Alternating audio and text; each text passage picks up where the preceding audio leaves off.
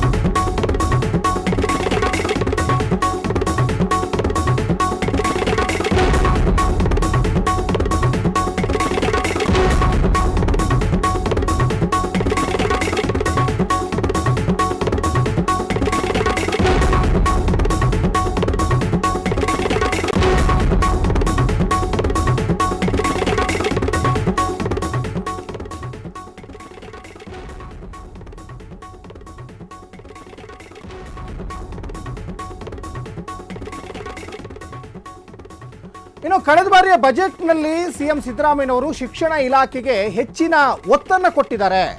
ಶಿಕ್ಷಣ ಇಲಾಖೆಗೆ ಭರಪೂರ ಅನುದಾನವನ್ನು ಕೊಟ್ಟಿದ್ದಾರೆ ಅನ್ನೋದು ಇಲ್ಲಿ ಗೊತ್ತಾಗ್ತಾ ಇದೆ. ಅಂದರೆ ಶಿಕ್ಷಣ ಇಲಾಖೆಗೆ ಇಪ್ಪತ್ತೊಂಬತ್ತು ಸಾವಿರದ ಎಂಟುನೂರ ಒಂಬತ್ತು ಕೋಟಿ ರೂಪಾಯಿ ಅನುದಾನವನ್ನು ಸಿದ್ದರಾಮಯ್ಯನವರು ಕೊಟ್ಟಿದ್ದಾರೆ. ಜೊತೆಗೆ ಶಿಕ್ಷಣ ಸಚಿವ, ಅಂದರೆ ಪ್ರಾಥಮಿಕ ಮತ್ತು ಪ್ರೌಢ ಶಿಕ್ಷಣ ಸಚಿವ ಮಧು ಬಂಗಾರಪ್ಪನವರು ಆ ಅನುದಾನವನ್ನು ಪಡ್ಕೊಂಡಿದ್ದಾರೆ. ಆದರೆ ಸಮರ್ಪಕವಾಗಿ ಇಲ್ಲಿ ಬಳಕೆ ಆಗಿದೆಯಾ ಅನ್ನುವಂತಹ ಪ್ರಶ್ನೆ ಇಲ್ಲಿ ಎದ್ದಿರುವಂಥದ್ದು.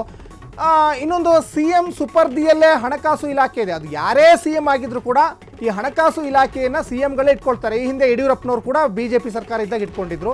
ಈಗ ಸಿದ್ದರಾಮಯ್ಯನವರ ಸುಪರ್ದಿಯಲ್ಲೇ ಇದೆ. ಹಾಗಾಗಿ ಹಣಕಾಸು ಇಲಾಖೆಗೆ ಇಪ್ಪತ್ತೆಂಟು ಸಾವಿರದ ಐನೂರ ಮೂವತ್ತೇಳು ಕೋಟಿ ರೂಪಾಯಿ ಅನುದಾನ. ಇನ್ನೊಂದು ಕಡೆ ಗ್ರಾಮೀಣಾಭಿವೃದ್ಧಿ ಮತ್ತು ಐ ಟಿ ಬಿ ಟಿ ಖಾತೆ ಸಚಿವ ಪ್ರಿಯಾಂಕರ್ಗೆ ಗ್ರಾಮೀಣಾಭಿವೃದ್ಧಿ ಇಲಾಖೆಗೆ ಇಪ್ಪತ್ತೈದು ಸಾವಿರದ ಐನೂರ ಐವತ್ತೆಂಟು ಕೋಟಿ ರೂಪಾಯಿ ಬಿಡುಗಡೆಯನ್ನು ಮಾಡಿದ್ದಾರೆ. ಇನ್ನು ಮಹಿಳಾ ಮತ್ತು ಮಕ್ಕಳ ಕಲ್ಯಾಣ ಇಲಾಖೆಗೆ ಸಿಕ್ಕಿದ್ದು ಇಪ್ಪತ್ತ್ಮೂರು ಸಾವಿರದ ನಾನ್ನೂರ ಮೂವತ್ತ ಏಳು ಕೋಟಿ. ಇದೇ ಇಲಾಖೆಯಿಂದನೇ ಗೃಹಲಕ್ಷ್ಮಿಗೂ ಕೂಡ ಇವತ್ತು ಹಣ ಸಂದಾಯ ಆಗ್ತಾ ಇದೆ. ಕಾಂಗ್ರೆಸ್ ಸರ್ಕಾರದ ಏಕೈಕ ಮಹಿಳಾ ಸಚಿವರು ಕೂಡ ಲಕ್ಷ್ಮೀ ಹೆಬ್ಬಾಳ್ಕರ್. ಹಾಗಾಗಿ ಲಕ್ಷ್ಮೀ ಹೆಬ್ಬಾಳ್ಕರ್ ಖಾತೆ ಮಕ್ಕಳ ಮತ್ತು ಕಲ್ಯಾಣ ಇಲಾಖೆ, ಇದರಿಂದ ಗೃಹಲಕ್ಷ್ಮಿಯವರಿಗೂ ಕೂಡ ಇಲ್ಲಿ ವಿನಿಯೋಗ ಮಾಡಬೇಕು. ಪ್ರತಿ ಮನೆಗೂ, ಪ್ರತಿ ಮಹಿಳೆಯರಿಗೂ ಎರಡು ಸಾವಿರ ರೂಪಾಯಿ ತಿಂಗಳ ತಿಂಗಳ ಸಂದಾಯ ಆಗಬೇಕು. ಇನ್ನು ಇಂಧನ, ಇದು ಕೂಡ, ಇದರಲ್ಲೂ ಕೂಡ ಇನ್ನೂರು ಯೂನಿಟ್ ವಿದ್ಯುತ್ ಫ್ರೀ ಅಂತ ಈಗಾಗಲೇ ಘೋಷಣೆ ಮಾಡಿದ್ದಾರೆ. ಗೃಹಜ್ಯೋತಿ ಯೋಜನೆ ಅಡಿ ಆ ಖಾತೆಯನ್ನು ಕೆ ಜಿ ಜಾರ್ಜ್ ಇಂಧನ ಖಾತೆಯನ್ನು ನಿರ್ವಹಿಸ್ತಾ ಇದ್ದಾರೆ. ಹಾಗಾಗಿ ಇಂಧನ ಇಲಾಖೆಗೆ ಇಪ್ಪತ್ತೆರಡು ಸಾವಿರದ ಏಳ್ನೂರ ಒಂದು ಕೋಟಿ ರೂಪಾಯಿಯನ್ನು ಸಿದ್ದರಾಮಯ್ಯವರು ಬಜೆಟ್ನಲ್ಲಿ ಮಂಡನೆಯನ್ನು ಮಾಡಿದ್ದಾರೆ. ಇನ್ನು ಡಿ ಕೆ ಶಿ ನೇತೃತ್ವದ ಜಲಸಂಪನ್ಮೂಲ ಖಾತೆ.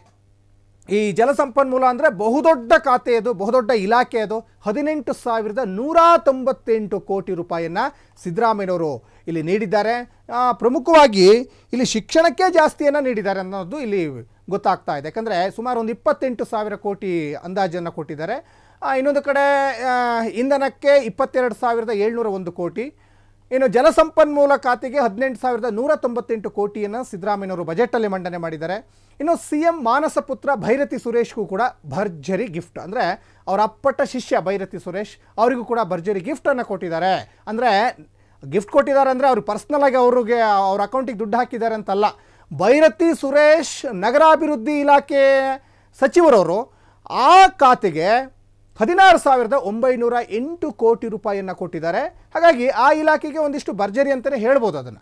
ಇನ್ನು ಕೃಷ್ಣ ಬೈರೇಗೌಡರ ಕಂದಾಯ ಇಲಾಖೆ, ಅವರು ಈ ಹಿಂದೆ ಕಾಂಗ್ರೆಸ್ ಸರ್ಕಾರ ಇದ್ದಾಗಲೂ ಕೂಡ ಕಂದಾಯನೇ ಅವರು ಕಂದಾಯ ಇಲಾಖೆಯನ್ನೇ ನಿರ್ವಹಣೆ ಮಾಡ್ಕೊಂಡು ಹೋಗ್ತಾ ಇದ್ರು. ಜೊತೆಗೆ ಕೃಷಿಯಲ್ಲೂ ಕೂಡ, ಕೃಷಿ ಇಲಾಖೆಯಲ್ಲೂ ಕೂಡ ಇದ್ದರು ಇನ್ನು ಹನ್ನೆರಡು ಸಾವಿರದ ಮುನ್ನೂರ ನಲವತ್ತೈದು ಕೋಟಿ ರೂಪಾಯಿ ಕಂದಾಯ ಇಲಾಖೆಗೆ ಇಲ್ಲಿ ಅನುದಾನವನ್ನು ಸಿದ್ದರಾಮಯ್ಯನವರು ಕೊಟ್ಟಿದ್ದಾರೆ. ಯಾಕಂದರೆ ಸಿದ್ದರಾಮಯ್ಯನವರು ಈಗಾಗಲೇ ಹೇಳಿದ ಹಾಗೆ ಅತಿ ಹೆಚ್ಚು ಬಜೆಟ್ ಮಂಡನೆ ಮಾಡಿರುವಂತಹ ಖ್ಯಾತಿಯ ಜೊತೆಗೆ ಕಳೆದ ಬಾರಿ ಬಜೆಟ್ಗೂ ಈ ಬಾರಿಯ ಬಜೆಟ್ಗೂ ಸಾಕಷ್ಟು ವ್ಯತ್ಯಾಸಗಳಿದ್ದಾವೆ ಯಾಕೆ ಅಂದರೆ ಕಳೆದ ಬಾರಿ ಐದು ಗ್ಯಾರಂಟಿಗಳನ್ನೇನು ಘೋಷಣೆ ಮಾಡಿರಲಿಲ್ಲ.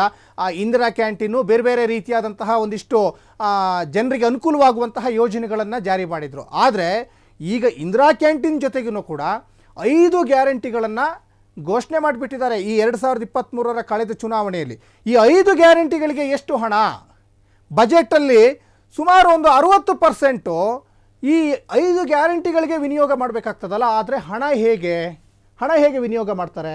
ಹಣ ಹೇಗೆ ವಿನಿಯೋಗ ಮಾಡ್ತಾರೆ ಅಂದರೆ ಸಾಲ ಮಾಡ್ತಾರೆ. ಈ ಒಂದು ವರ್ಷದ ಸಾಧನೆಯಲ್ಲಿ ಸಾಲ ಎಷ್ಟು ಮಾಡಿದ್ದಾರೆ ಸರ್ಕಾರದವರು? ಪ್ರತಿ ವ್ಯಕ್ತಿಯ ಮೇಲೆ, ಈ ಪ್ರಜಾಪ್ರಭುತ್ವ ವ್ಯವಸ್ಥೆಯಲ್ಲಿರುವಂತಹ ಪ್ರತಿ ಪ್ರಜೆಗಳ ಮೇಲೆ ಎಷ್ಟು ಸಾಲದ ಹೊರೆ ಇದೆ? ಅದನ್ನು ಕೂಡ ಇಲ್ಲಿ ಯೋಚನೆ ಮಾಡಬೇಕಲ್ವಾ? ಹಾಗಾಗಿ ಇಲ್ಲಿ ಹತ್ತು ಸಾವಿರ ಕೋಟಿಗಿಂತ ಹೆಚ್ಚು ಅನುದಾನ ಪಡೆದ ಪ್ರಭಾವಿ ಮಂತ್ರಿಗಳು ಮಾಡಿದ್ದೇನು ಹಾಗಾದರೆ? ಈಗಾಗಲೇ ಹೇಳಿದಾಗೆ ಸಾಕಷ್ಟು ಮಂತ್ರಿಗಳು ಸಿದ್ದರಾಮಯ್ಯನವರ ವಿರುದ್ಧವಾಗಿ ತಿರುಗಿಬಿದ್ರು, D C M D K Shivakumar ಅವರ ವಿರುದ್ಧವಾಗಿಯೇ ತಿರುಗಿಬಿದ್ದಿದ್ರು. ಯಾಕಂದರೆ ನಮ್ಮ ಕ್ಷೇತ್ರಕ್ಕೆ ಅನುದಾನ ಬಿಡುಗಡೆ ಮಾಡ್ತಾ ಇಲ್ಲ. ಹಿರಿಯ ಸಚಿವರನ್ನು ಕಡೆಗಣನೆ ಮಾಡ್ತಾ ಇದ್ದಾರೆ. ಈ ಹಿರಿಯ ಸಚಿವರನ್ನು ಸೇರಿಸ್ಬಿಟ್ಟು ಅವರ ಅಸಮಾಧಾನವನ್ನು ತಣಿಸ್ಲಿಕ್ಕೋಸ್ಕರನೇ ಸಿದ್ದರಾಮಯ್ಯನವರು ಎರಡೆರಡು ಬಾರಿ, ಮೂರು ಮೂರು ಬಾರಿ ಮೀಟಿಂಗನ್ನು ಮಾಡ್ತಾರೆ.